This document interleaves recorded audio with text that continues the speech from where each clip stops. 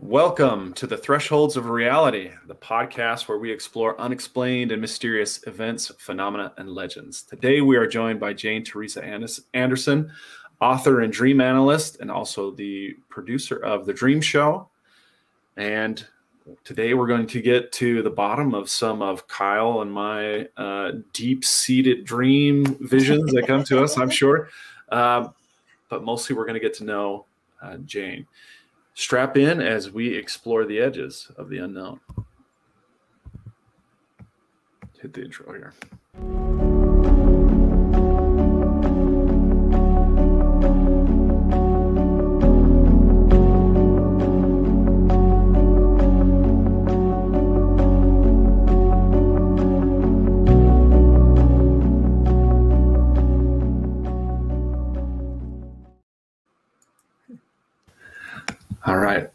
Jane, thank you for taking the time today. In fact, it's your tomorrow.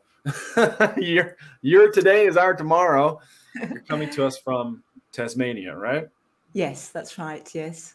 Hobart, capital Hobart in Tasmania. Tiny little city, beautiful place. it's on the bucket list. Yes. And did you was that place chosen for you or did you choose it?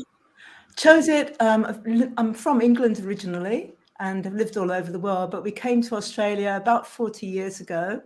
And after the last 26 years of just being too hot and too humid where we were, we just decided to get a cooler climate, which we've got down here in Tasmania because it's close.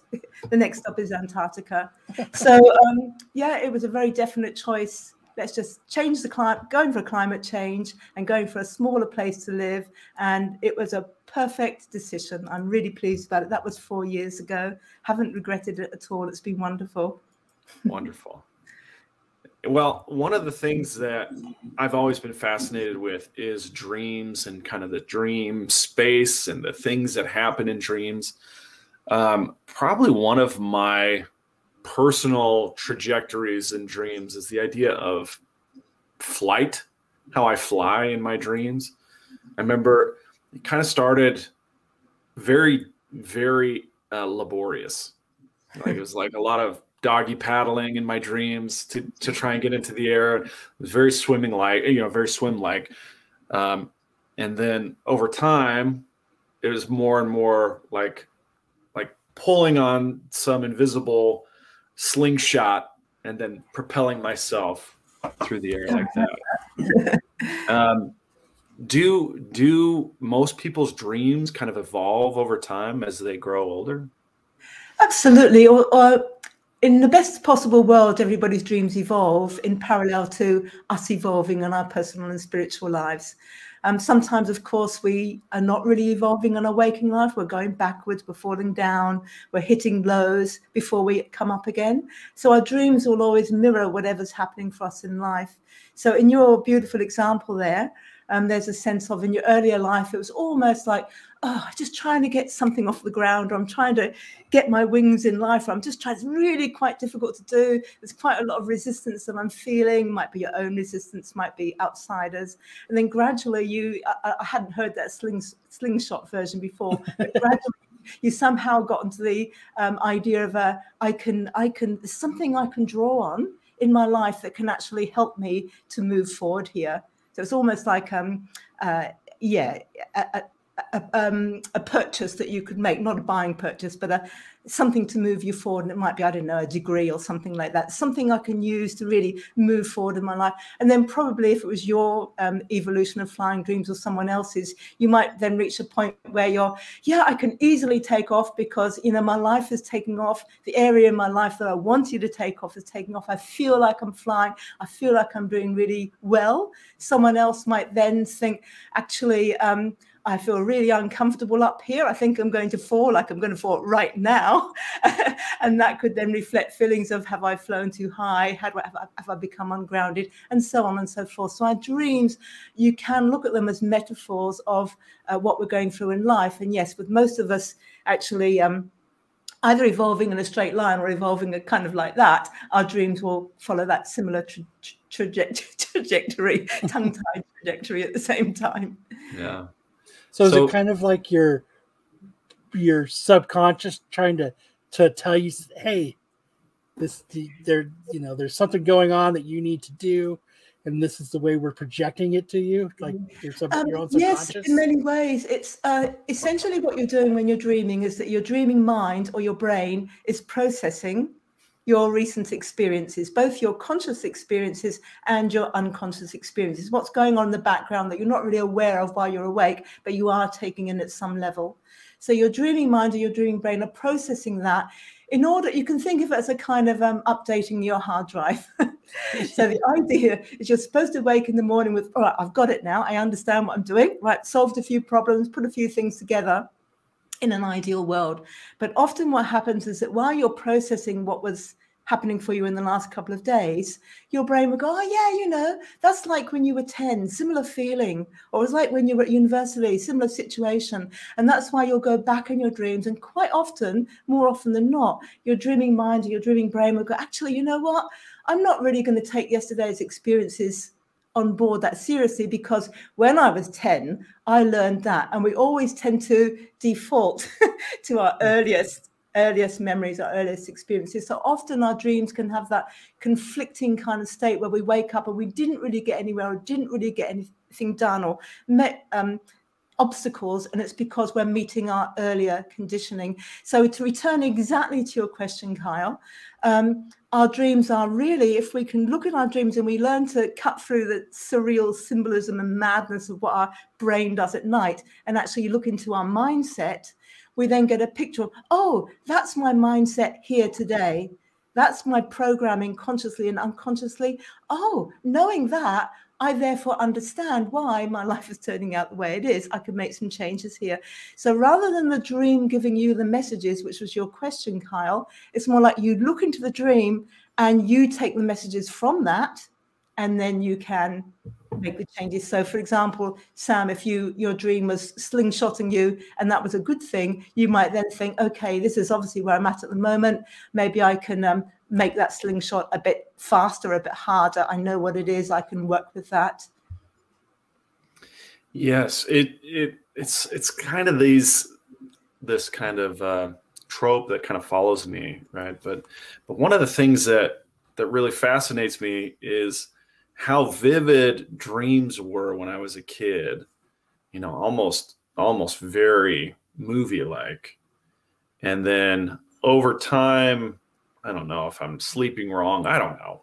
But they've become more and more kind of transitory where I, I as soon as I wake up, I I have this vague recollection that I was dreaming, but I can't remember the substance of it. Um, is that a common thing Yes, it is. And there's a couple of reasons for it. And one thing, particularly in the modern world, is that, and it's not what you described there, but a lot of people will wake up and go, right, I'm awake, what have I got to do? That's my phone, got to do this, got to do that. And you've missed that window of opportunity for recalling the dream. So some people will have that experience. But I think what you're getting there is when your life experiences are really deeply emotional or you're facing a lot of change, and all those things apply in early childhood. It's like as a child wow everything's like wow. Mm-hmm. everything's emotional everything's changed. And your dreams will be on that high technicolor vivid emotion wow kind of feeling as well. And as we get older we kind of get used to things a bit more. And so our dreams tend to be less emotional less vivid. Although when you do go through periods of change or challenge you'll probably find that your dreams up level in those departments so that's part one of it. Part two is what you're also describing, Sam, there is really not remembering the dreams. You may be having more vivid dreams, but you may not be remembering them. And often that's a case of prioritizing it. So the more that you lay there and think, I'm not going to I'm not going to stress out if I don't remember my dreams, but I'm just going to give myself 5 minutes and not expect to remember a whole dream, but if I can remember a little bit, I'll just write it down even if it's a single word. And that by doing that every morning you're basically training yourself to recall more and more. And as you do that you'll get more dream recall coming in. And the other thing is um, that it's it's sensual. So our dreams um, most people will dream of course in vision, vision um, and in sound And as you pay attention to your dreams, you'll realize that you're, you're often tasting or smelling or touching, feeling texture. So the more that you do that during your day, so instead of being stuck on the computer or whatever, wherever, I'm not, I'm not saying you are, but a person might be stuck on the computer. Instead of that, if you go out and you actually, oh, smell things, touch things, listen at a different level to things, um, just open up all your senses, then as soon as you go to sleep, your dreaming mind has that job to process your daily experiences. So it's going to be processing the vivid, the light, the taste, the smell. So you can program the kind of dream experiences you want to have by the experiences you give yourself during the day. Now, I imagine that you must have had some very vivid dreams at an early age to want to devote your whole adult life to it. Yes. So how, how did it how did it come to be that you became the dream analyst? Yes, very good question. Yes, I did. I was one of those children that wanted everyone to, you know, be interested in these amazing dreams that I had as a child, and nobody really was. but I was very interested, and uh, yeah, I had amazing, spectacular dreams, as most children do, and that stayed there and it stayed there, and that that has never changed. But because at university, at, at school, I was encouraged to study science because I showed a few bright sparks in that direction. I went to university and, and studied science, and then I studied zoology to keep it broad. But then, as we had to keep choosing, I narrowed it down to basically um, neurobiology. So I was mm. in that kind of field of the brain and nerves and how we understand the world. But I still worked in as a scientist in that field for quite a while. And then about 30 years ago, I just had a week. It was one week literally where everybody I talked to seemed to be telling me about a dream. And I kind of reached that point. I was thinking, how can you not know what this dream is about? so mm. it drew in my curiosity. And I thought, no, I'm going to go and study this in greater depth. I, I read lots of books. It didn't completely gel with how I was understanding dreams. And so I got a few hundred people together and uh, got them to fill in surveys to to write what dreams they were having to write down what the experiences they were having during the day their thoughts their feelings their issues. I looked at the two tried to see a relationship between their waking life and their dreaming life and um, and got them to do other experiments in their dreams as well. And just because i was very very fortunate i happened to be on radio talking about this one day and um, and i got a call from uh, a journalist who said, I, I, think you'd love to talk to my literary agent. And oh, yeah. And so, like, within six weeks, I had a, a contract with one of the big five publishers to write a book on the research I was doing. And it started from there. So that was 30 years ago. So it started with a passion, with that passion becoming, um, being made more aware to me. And then basically just jumping in and going, you know what, this is what I want to do. I'm going to follow this. And then doors basically opening. Wow, that's that's great. So one of the books that was featured on your website is 101 uh, dream interpretation tips. Yes. And well, you said that you've written seven books. I only saw the two. I apologize for that. It's my lack of research, I'm sure. But um, where did where did that book kind of fall in? And and can you give us a few? Can you give us some highlights of? Yeah, I started my first um, my first book, Sleep on It and Change Your Life, came out in 1994, and that was based on the research I did. The next book was Dream It, Do It, where I looked at, I asked people to tell me a dream that they remember as very significant and what they did as a result of having that dream. And then I interpret it in retrospect. Um, both those books did really well, but they're so old, they're out of print now, although I do have PDF versions on my site. The third one, um, Shape of Things to Come, was an interesting one because I was being very sensible, the scientist, looking at your dreams, the research, etc. But on the side, I sometimes had dreams that came true, specifically details. And over a period of time, I was um, did a lot of radio and TV in those days. So I began to receive letters because it was the day before the before email. Letters from people saying, you know, I have dreams where I see bits of the future, and I don't want I've never really told anybody because I don't want to be put in a psychiatric institute. so many letters like this. So I thought, okay, I'm going to go and do some research into this. So I gathered everybody's um, experiences. I designed some research. One was where I won't go into a lot of detail, but where I got a hypnotist to hypnotize me into my future and take notes about what I said was going to happen, and got some very interesting results from that. And all of that that whole thing was published by Random House as the shape of things to come. So that was kind of like a diversion. Um, after that, I wrote Dream Alchemy, which is um, now has been updated and re-edited as the Dream Handbook, and it's to help people understand the the kind of common dreams that we all have. To understand mm. those, that's still available everywhere. Then I took a little side trip. Side trip. I did 101 Dream Interpretation Tips, the book you mentioned. I published that myself um, because I did that in um, as a, um, a partnership with a, a bedding company who were looking for a gift for their people. So I did it as a gift for them and then also sold it on the side. And I tried in that book to bring it down to the absolute basics. You know, what how can I bring all this stuff down to 101 neat small tips? And that was that book.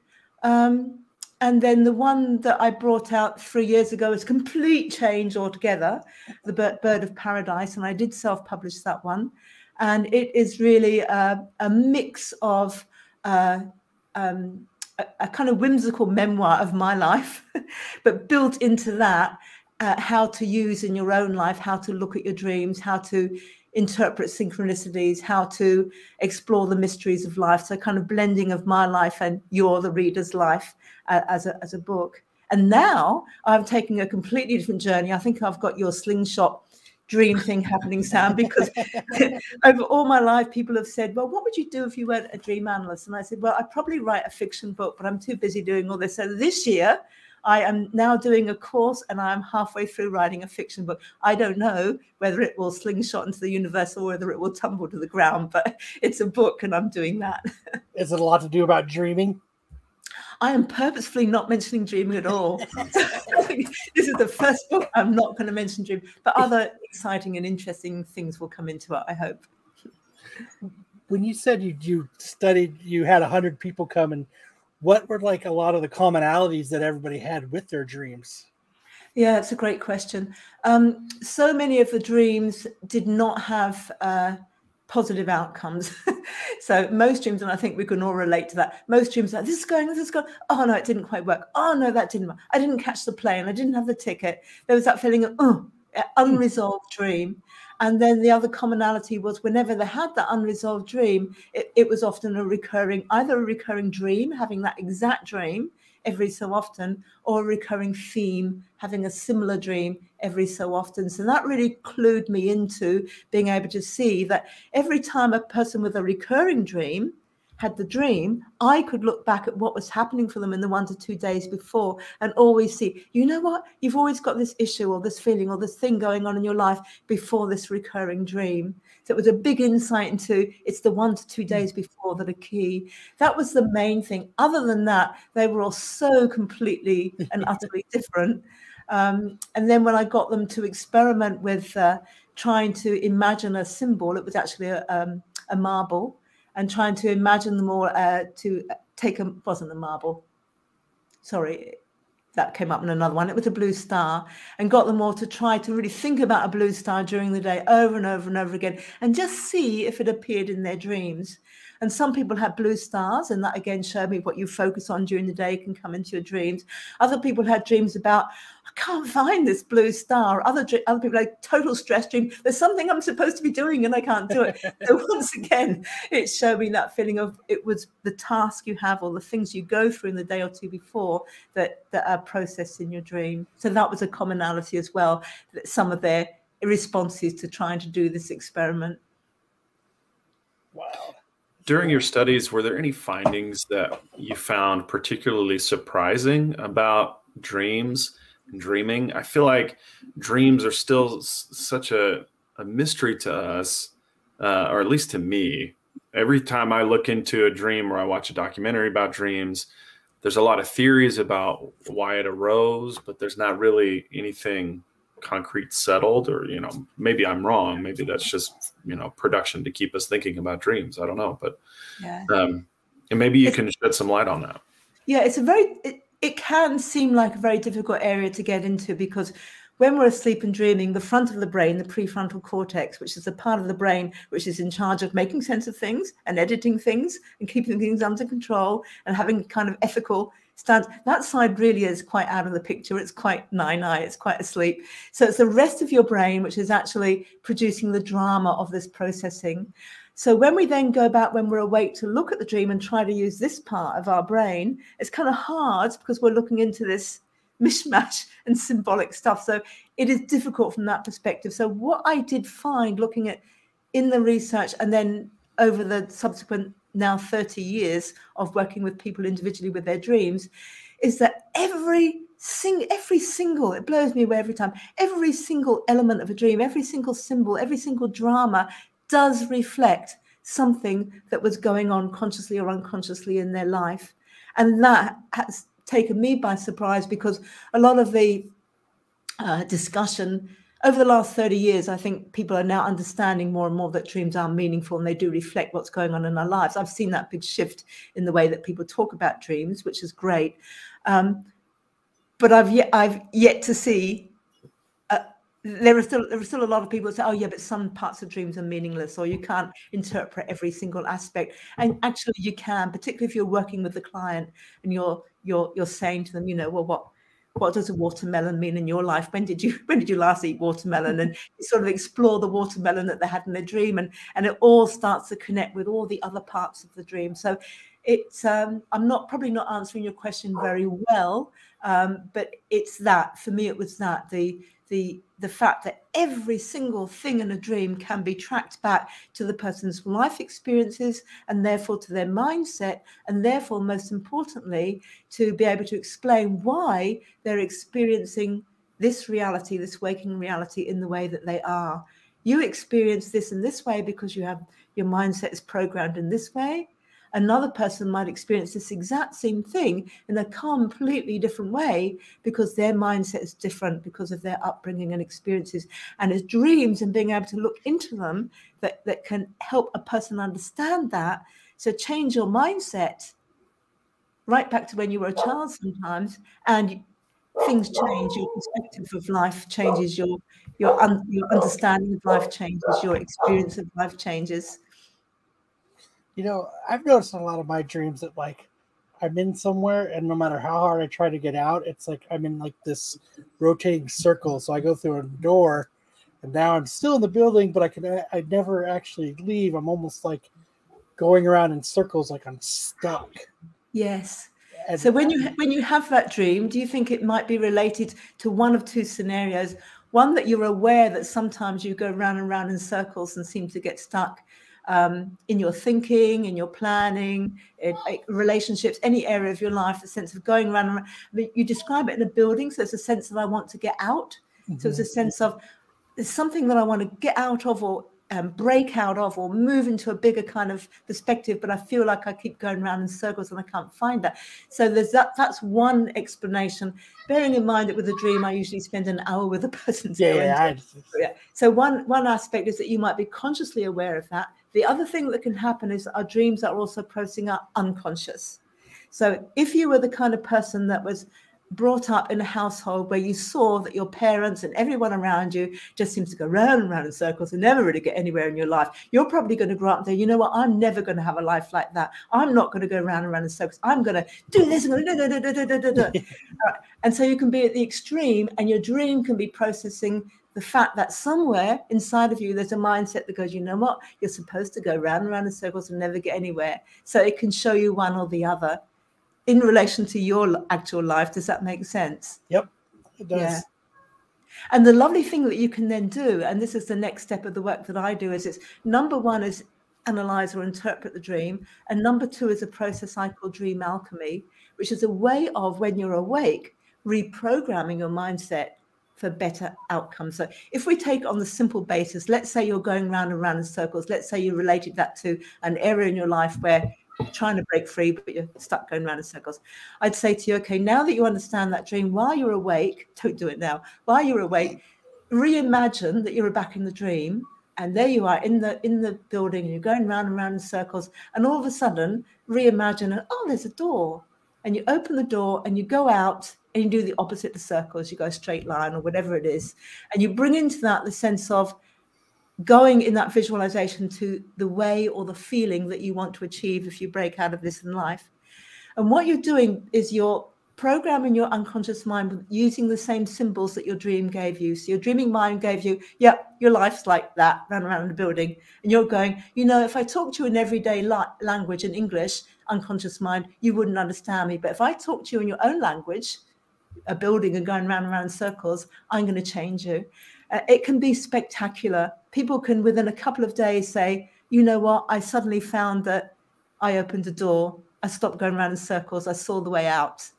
And people that find it hard to visualize, you can give similar experiences. You can get them to do the same kind of thing in art or with their body, like literally get up and walk around in circles and and open the door.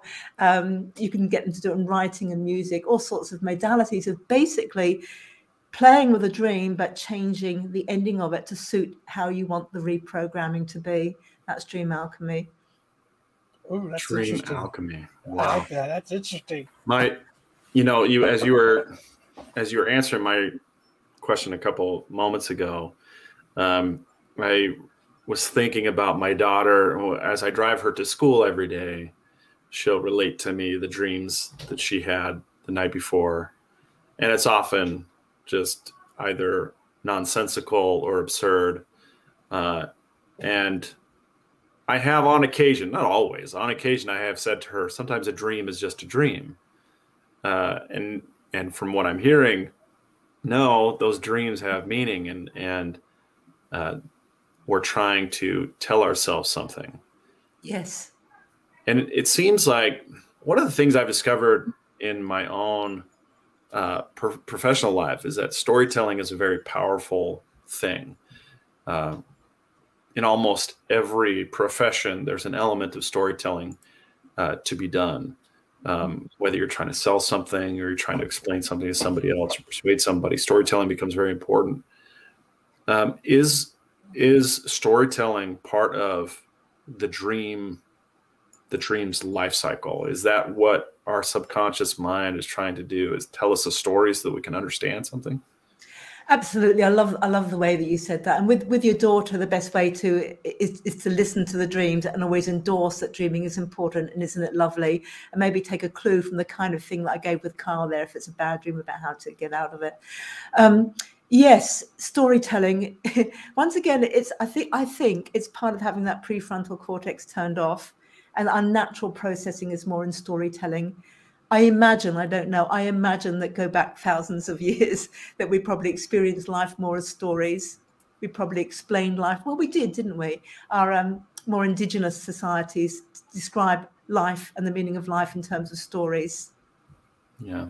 Gods, monsters, myths, legends are stories, not not psychological um, uh, uh, sentences and analytical um, uh, analyses of what's going on in life. We we relate to stories, so um, so yes, I totally agree. Our dream, if you look at the dream as a story, and this is something I do. People often, when they start dreams, say, Oh, I had this dream and it was about this, this, this. So I want a dream dictionary and I want to look up what a watermelon means or an egg means or a frame means. Now, you can't do that because dream dictionary, our symbols are all personal. Dream dictionaries, throw them out. But also, what I'm saying there is that people tend to focus on, I want to know what that symbol means. And I say, no, I will. We will work on that symbol. It is important. But let's first of all look at the storyline let's look at the whole story in Kyle's dream. You know, let's let's bring it down to I'm in a building, I'm going around in circles, I can't get out, rather than what the symbols are that you meet. Bring it back to the story. When you then say, Is there a similar story in your life? Most people will either say, Oh yeah, yeah. How how could how, that is so obvious? How didn't I see that? Or it can be like the unconscious side, the reverse of the story which then people will see. The moment we relate to the story, we can change the story, which is what we did there. So, yes, I'm not sure if I'm answering your question well, but um, our dreams present in story form. And if we approach them as stories, and if we play with them as stories, and if we look for similar stories in our waking life, that's how we can really use them to our advantage. That is when we then understand understand ourselves more clearly. We understand are the way that we experience life as stories and explain life to ourselves as stories explain our relationships our work issues what our meaningfulness about life. If we can explain them as stories then we get a, a deeper handle. So looking at dreams as stories is a really good way to go. And the fact that dreams presents as stories is uh, gives us something that probably a lot of other things in our lives don't do don't know if that answered your question. no, absolutely, absolutely. Uh, the the one of the main things that that kind of drives me as as far as this podcast is the idea that that storytelling is so powerful because you something about that concrete journey rather than just the abstract idea that results from that journey um, makes it embed in our minds and and in some ways indelibly in our souls um, the the experience or the lesson to be drawn out of that story. And you know a lot of times we find ourselves in conversation with people and and there's there's a, a dispute or a disagreement as to what our understanding is. And so I often find it very helpful to share a story that narrates or that uh, delivers the kind of point that I'm trying to make. And mm-hmm. over the course of that story, the little pearl, the little nugget of wisdom or understanding that I'm trying to deliver, it's like it's like putting a pill in peanut butter for my dog. You know, it's like it's so much easier to swallow, and yes. and it's almost like a Trojan horse. You know, now you've got that idea embedded in your mind, and you can't get it out. You're you're going to be wrestling with that for a while. I, I, love that, and it does, you're right. It does fit perfectly with the format in which dreams are. So you could have that sense of you wake up in the morning to use your word that the dream story is embedded. It's easier to recall a whole story uh, in the work that you do when you give people a story. They haven't got to remember this bit. Oh, what happened next? Because there is a story. We remember them in chunks. So in the same way, a dream we can start to remember as a chunk because it's a story. Um, so I like I like that idea. Yes, in, in embedding and reflecting our lives as stories in our dreams. So have you done a lot of things with nightmares? Yes. So, so the, what, yeah, go ahead. Sorry. so, um, it's a little bit semantics. Like a nightmare is a is a dream, but it's a bad dream. And so some people will have a a, a nightmare and wake up, a really terrible nightmare. And other people, maybe like me, excuse me, might wake up and go, well, I had a really interesting dream last night and described the same dream, but I, I know that not to be afraid of it, you know. But the other thing about nightmares is that in a nightmare, obviously, state the obvious, we usually feel fear or mm. anxiety or stress. And when we do um, dream of fear or anxiety or stress, our body does actually produce the hormones so you get the adrenaline, the cortisol actually pumped into your body. So you may be dreaming of something really fearful, and your whole body, your whole physiological state goes into stress or fear. That will often be enough to wake you up. and then you remember the dream. And because you woke up at the scary bit, you often weren't there long enough to resolve it and work it out. and because you wake up and you feel it in your body, you feel the, the freeze, the heart pumping, mm-hmm. you feel everything, you then think, oh, that wasn't a dream, something actually happened. So you can really kind of get into thinking that a nightmare is something, is, is it in the room? But basically, a nightmare is yeah, undeniably scary, particularly for children as well. They need to be helped to understand these things about facing fears in life.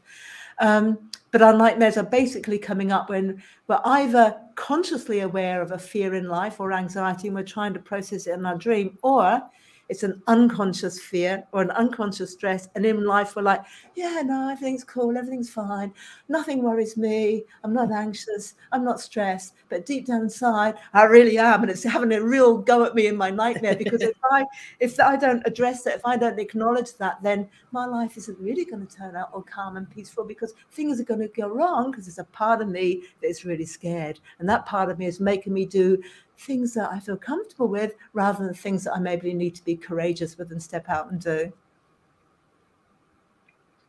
That's a story. and with with gene, uh, dream, sorry, dream analysis or dream therapy, what is what is really the goal? Are you trying to help people understand their waking lives, or or trying to have help them have better dreams, maybe a combination of those things. Like what what's the the goal for your work with individuals in dream therapy and dream analysis? The um the first reason most people will contact me is if they've had a nightmare and that nightmare is and it's a recurring nightmare and they're not getting enough sleep and they're frightened to go to sleep. So they will contact me and just say why am i having this nightmare? So the first port of call will often be that help them to understand what's happening in their dreams help them to work um, to face those fears address them and come out of them. So that that's one thing uh, other people will contact me the first time because they've maybe listened to a lot of the podcasts and understand that our dreams are reflecting our mindset and that if they can get to the bottom of their mindset, they can make changes in their life. So they are then coming to me wanting to understand themselves, particularly their unconscious, more clearly so that they can make changes in their life. And the so that that covers like the dream consultation side of it. So um, I'll come to the dream therapy in a minute. So the dream consultation is helping people to understand themselves through their dreams so that they can better understand their lives and make changes if they wish. The other aspect, the dream therapy, is often when people have done a couple of dream consultations and they're saying, okay, I know there's a lot in my life that um, I really need to resolve some issues and need to heal some stuff there's there's a lot of deep change I need to go through. So they will then book a, a regular, maybe you know once a week for 12 weeks, which is like going to therapy once a week. And then in those cases, what I'll do is we'll start with the dream each week, but instead of actually going into every nut and bolt and detail of the dream, instead of that, I'll start with the dream and maybe start like I did with you, Kyle. Sorry to keep using your um, idea, but so okay, so you've brought this huge long dream, but I can see in the, the part of this dream here, you feel like you're going round and round in circles and you can't get out. Let's look at that in your life. And so that then opens up the therapy. And then we might then bring other bits of the dream. And I might, you know what? There was that other symbol in your dream. Let's go back and get it. That throws light on what happened in your life, didn't it? Or this, that, that throws light. This is how we can resolve these issues. This is how we get out of it. So the dream therapy is really for people that are willing to go back to look at tough stuff, difficult stuff that has resulted in a mindset that is maybe not working too well for them, that needs healing, that needs insight. Um, and, and so rather than focusing on analyzing every detail, we're focusing on what can we learn from the basic storyline of this dream that relates to your life and help you to move forward. In dream therapy, I do use the dream alchemy, the idea of visualizing or doing artwork or whatever and changing the theme. So I guess both of those, although they're different, actually come down to yeah, there are so many ways open to us in life to understand ourselves more deeply. But you know what? Our dreams that come from us. We know, we know. Well, we. I wake up in the morning and those dreams uh, happen to me. They're not a therapist telling me about something. We are looking at the thing that comes from you. We're looking at your mindset and we're exploring it together. So there's a sort of um, authenticity. We're dealing with you literally with your own stuff here, and let let's work through it together, and let's see how we can use this to help you to um, experience life in a better way. Are there any any tropes or or themes that people might look look at as like a warning sign for mm. need to reach out to you or someone like you for therapy? Yeah, I think um, on on the one hand, if you're experiencing dreams that are, are scaring you and you're to the extent that you're frightened to go to sleep and you're missing out on sleep, and we all know that sleep is a physiological necessity for us. So you know you can become very unwell over over um, in your life if you're not sleeping well. So that's one thing to look at. If your your dreams are, are stopping you from going to sleep, you might need to look at those dreams. Um, in general, any recurring dream theme where uh, you wake up intensely um, concerned that you're stuck in the dream or it's unresolved or something needs to happen. Um, that can be a point to say, I think I really need to talk to me or someone like me, or learn how to do it yourself. Um, learn how to explore your dream yourself to get yourself out of whatever it is that you're stuck in.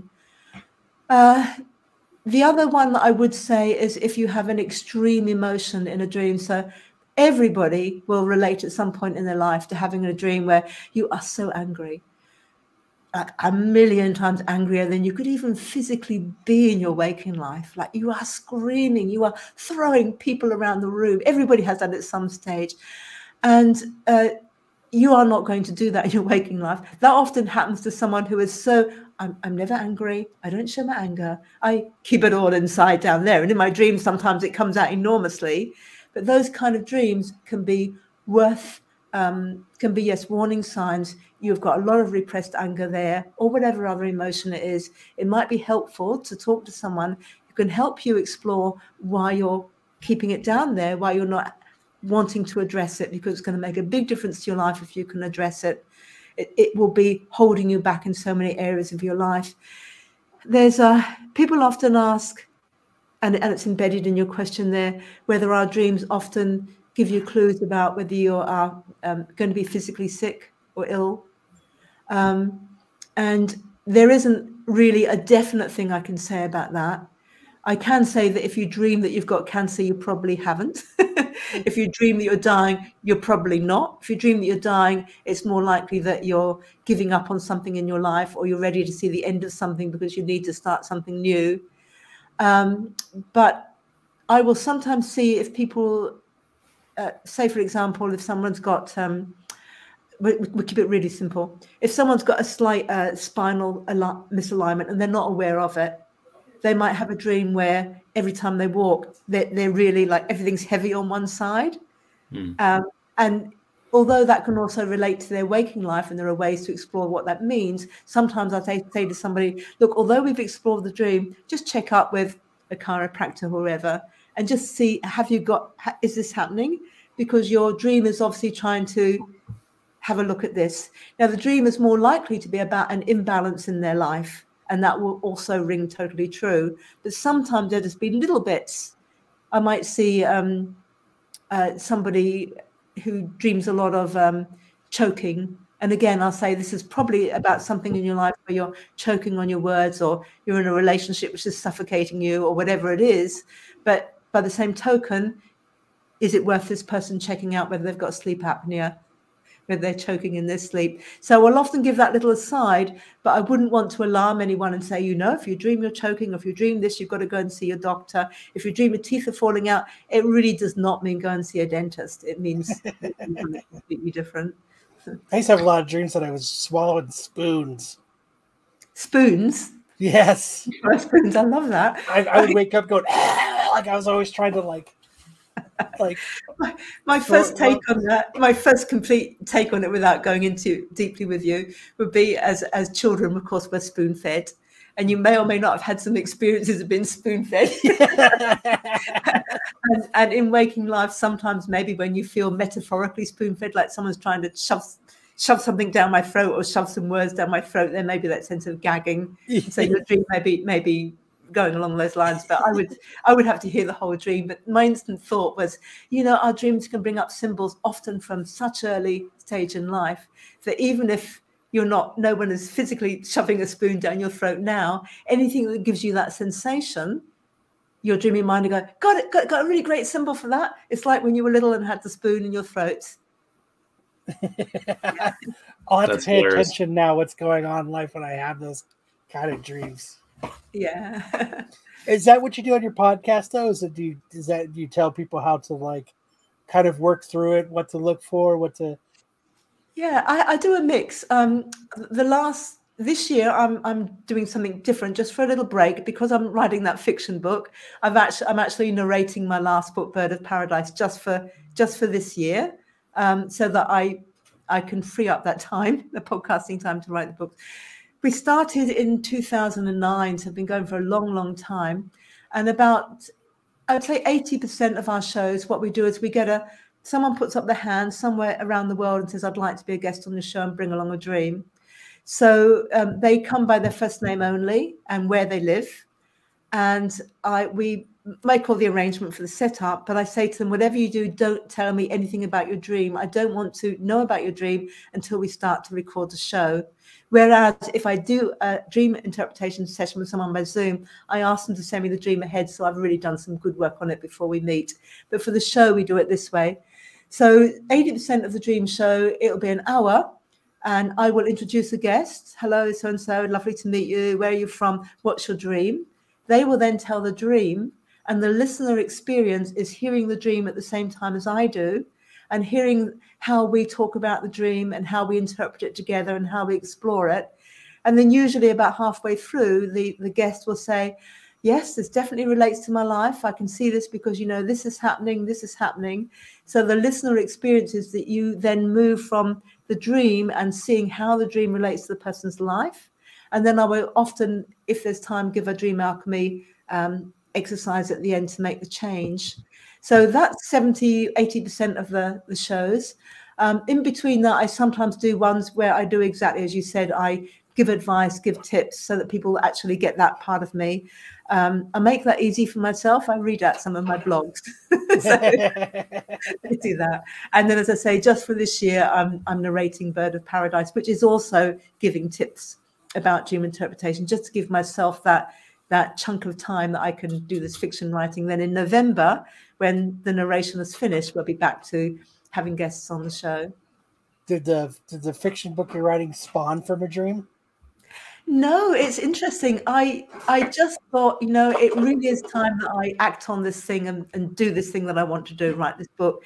So I signed up, I looked at lots of courses, I couldn't find the right thing, and eventually found um, a course online, and it's called um, uh, First Draft Fiction novel or screenwriting course and it's done over 10 months so i thought that would be fine. But to do that you start with a four week introductory course. I had no idea what my my title was going to be. So i did the four week introductory course lots of interesting exercises. I thought yeah that was great. I have no idea what i'm going to write about. But they said well when you do the 10 month course the first exercises will will will get you thinking. But just before that 10 course arrived i was listening to a podcast. I saw something happen in the garden. I won't say what it was the two went, whoa, there's an interesting thing. And the whole story went from there. So by the time I started the course, I had my story and I'm now learning the techniques of how to tell it. So it didn't come from a dream, but it did come from a mysterious set of uh, situations and a synchronicity. So it did come from a, a sense of mystery and the unconscious mind. And I'm not, I'm not telling anyone, even my husband, I'm saying I'm not telling anyone what this book is about or even what genre it's about because I want when I've written it to be able to say, can you have a look at that? And I want you to read it and and have it the whole experience fresh without any preconceived notions. And keeping that secret, it's really, really hard. yeah, That's so great.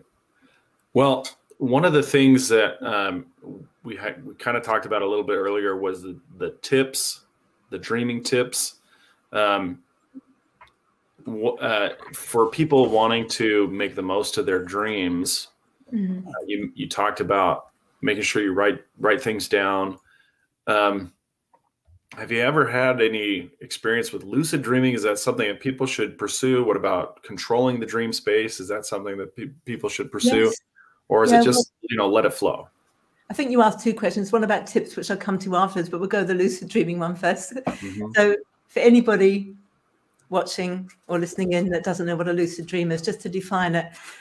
A lucid dream is where you're having a, having a normal dream and all of a sudden you go, oh, hang on a minute, this isn't actually happening, this is a dream. Those and you manage, instead of waking up, you manage to stay in it. And if you stay in it, you can have that amazing experience of, I know I've got a dreaming reality, I know I've got a waking reality. I don't know which one feels more real. This is mind blowing and you can just watch the dream and, and watch it from that perspective or you can control the dream. Okay i know i'm a dream so i'm going to fly now i'm going to fly whatever. So um yes of course i've had lucid dreams. I'm not a good lucid dreamer. I call myself a failed lucid dreamer. For example i i once dreamed i was on on, on top of a double decker bus um, giving a lecture about lucid dreaming. And when I record the dream, it was actually quite good. It wasn't a daft lecture. It actually had a lot of good points in it. And at no point did I realize that I was I was dreaming, even though I gave the lecture. I will often have a dream where someone will say to me, Do you think you're dreaming? And I go, No, no, no way. And they go, Well, test it. And I go, Well, I'll, if it's a dream, I would be able to fly. And I'll pathetically do something like this and not fly and wake up and go, It was a dream. On the other hand, there'll be some dreams where I go, "Oh wow, yes, it's a dream. I'm lucid." So I do lucid dream, but I'm not very, I'm not very good at it. And I think one of the reasons is, and answering your question, now that you know that dreams are important in processing our waking life experiences to update our mindset, to help us deal with the world in better ways, if you start to control the dream, you're stopping your natural dreaming process, which you actually need for your health for your emotional health and your physiological health and your mental health. So every time you do cut in with a lucid dream and take control of it, you're you're stopping that process. So my advice would be if people love to have a lucid dream and control it, yeah, do it a couple of times a week, but don't do it more than that. If you find yourself lucid, take a back seat, enjoy the experience, but don't change the dream. Go for the added benefit of either um, I can remember this in great detail, or although I said don't change the dream, if, if it's a recurring dream and you're working on a dream alchemy practice, working on that visualization of getting out, and you're suddenly in that dream and you're lucid, do it there, do it in that space. Um, regarding dream, I, for me, the most exciting thing about lucid dreaming isn't so much controlling it and doing amazing things, but this is just me. The exciting thing is the equality of the realities. That I think if I I can see my waking life reality, I can see my dreaming life reality, and they both seem to have equal value. So this tells me that there may be a third or a fourth or a fifth reality where if I entered it, it would also have equal value. It changes my opinion about how real, mm-hmm. in inverted commas, my waking life is. In, reg- in regards to dream interpretation tips, I mean, if you want to go the whole way, I do have online courses that people can do in their own time on, on my website. But I usually go for two main tips. One is to stand stand a long way back from the whole dream, even if it's a really long, complicated dream, and summarize it in one simple sentence. So let's imagine it's your dream again, Kyle, and let's imagine all sorts of amazing things happen in your dream, like it's a whole fiction novel of its own. But every now and then you're running around in circles. You might say, you know, of this whole huge dream that I have, the one thing that really sticks in my mind is I'm just going round and round in circles. So my one sentence would be in this dream, whatever happens, I end up going round in circles and I can't get out. Or um, someone else might have this amazing dream, but whatever happens, I, I'm, I'm just always trying to get to the airport. You know, in chapter one, I'm trying to get to the airport and this happens. In chapter two, I'm trying to get to the airport and this happened. In chapter three, and all this amazing storyline of my dream. But the bottom line is I'm trying to get to the airport What's your simple sentence about your dream? It's not I'm trying to get to the airport, it's I'm trying to get somewhere. You keep it vague. I'm trying to get somewhere and I'm not getting there. So summarize your uh, dream as a simple sentence and look for that situation in your waking life. That's kind of like step one of exploring your dream. There are lots of other tips, but that's kind of like the one that it's really good to get across. And also this idea of look for the the metaphor, look for the story, look for the corresponding story in your waking life. And that begins to orientate you about that's what your dream means. Yeah. Oh, wow. Now I'm reviewing in my mind many past dreams that I, I, I was able to remember. And in fact, they were, they were inspirations for stories that I've written. And, um, one of them in particular, well, you know, the, the thing about it is, is that they're very weird. I, one of our viewers posted this. He wanted, I was waiting for the right moment. It seems like now is the right time. Uh, but he says, "Can you tell me what this may mean? I had a dream the other night that Scrooge McDuck was attacking me with vines inside a haunted house, and and like you like you're saying, you know, take it down to, you know, take the details out. Maybe look at it in a general sense. Something's attacking him in a scary place." Yes, exactly. So you start with that. Some I feel like I'm being attacked. Where do you feel that in waking life? And then we would go to say, I've already forgotten his name because it's off, off screen. Scrooge McDuck, whatever. Yeah, Scrooge McDuck.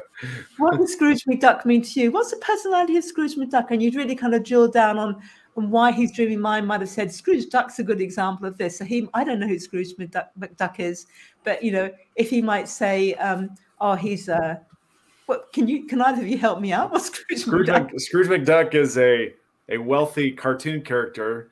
Uh, he's famous because he swims in his money all the time. He can swim through okay. his money. Right. So it, the the person who posted about that dream may have a different opinion of Scrooge McDuck, but let's say that he thinks of him as someone that's extremely wealthy.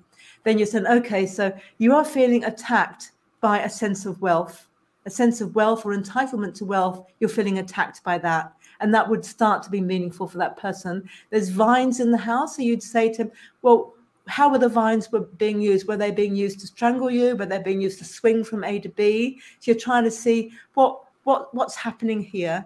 What, what's happening? The sense the whole the moment the house is haunted, you're probably looking at the sense of um, I'm going to say ghost, but I don't mean a real ghost.